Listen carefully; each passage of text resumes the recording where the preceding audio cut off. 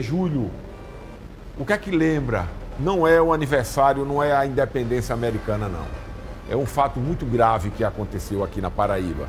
Foi quando desapareceu a Ana Sofia, lembra? Lá no distrito de Roma, em Bananeiras. Até hoje, o corpo de Ana Sofia não foi encontrado. E eu acho difícil que ela que vá acontecer isso. É muito difícil.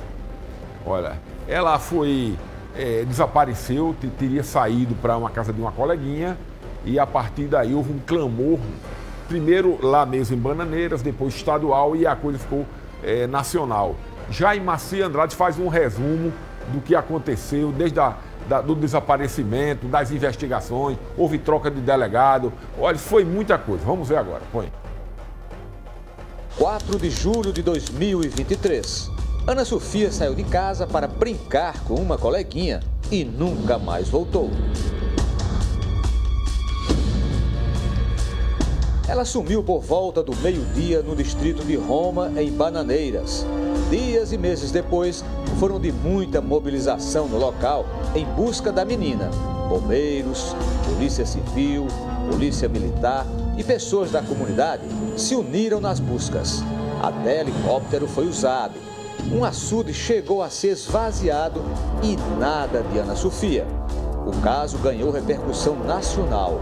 O pequeno distrito de Roma foi palco de ato público, onde o povo pediu justiça para o caso. Queremos justiça! Queremos justiça! Queremos justiça! O que seu coraçãozinho diz agora? Tu está dizendo, doutor, que minha filha não está viva. Que algo de ruim aconteceu com a minha filha. Fizeram alguma coisa com ela depois. E se fizeram alguma coisa com ela, quem fez, gente?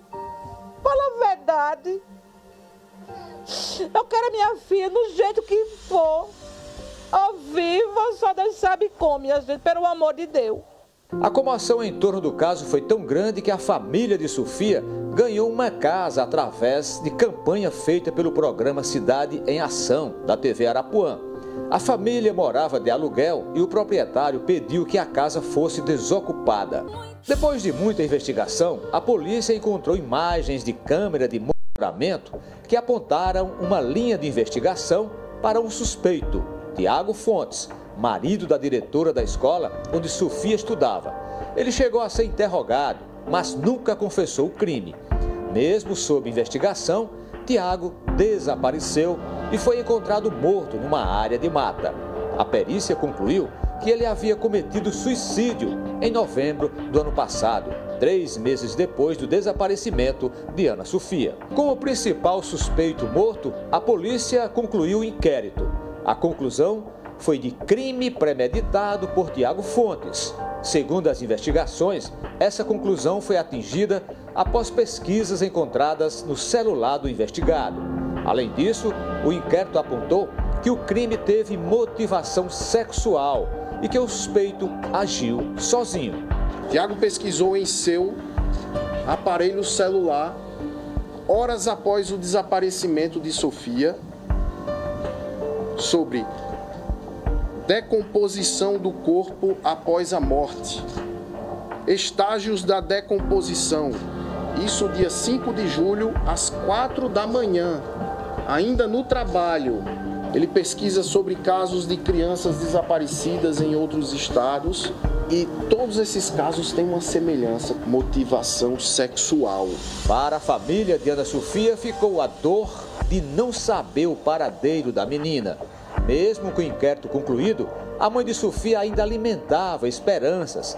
Na verdade, ela ainda espera o retorno da garotinha de 8 anos que saiu para brincar na casa de uma coleguinha e nunca voltou para casa.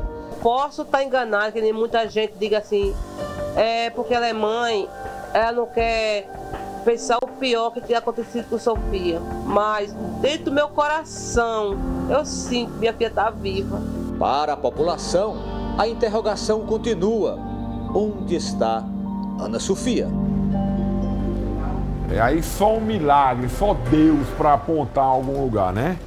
Inclusive aquelas videntes que disseram que ia encontrar, procura ali, procura cá, tal.